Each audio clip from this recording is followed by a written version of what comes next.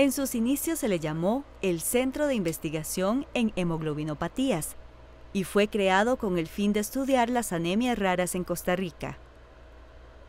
El Centro de Investigación en Hematología y Trastornos Afines, CIATA, de la UCR, se convertiría luego en un centro de referencia iberoamericano en alianzas con países como Cuba y México para el diagnóstico de enfermedades provocadas por hemoglobinas anormales.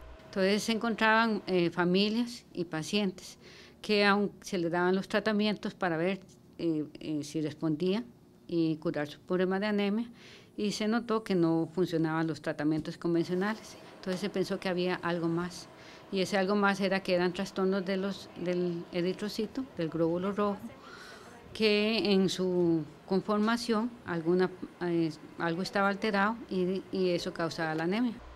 Hoy el Centro de Investigación en Hematología y Trastornos Afines, CIATA, de la UCR, continúa como en 1978 con la acción social de realizar estudios para la detección de trastornos sanguíneos a ninguno o muy bajo costo para los pacientes que lo requieran. Sino también estamos haciendo estudios eh, moleculares en cáncer para mejorar diagnóstico y también para eh, ver efectos de ciertos medicamentos que son sumamente caros para la caja para ver si tiene sentido o no que se le apliquen a un paciente.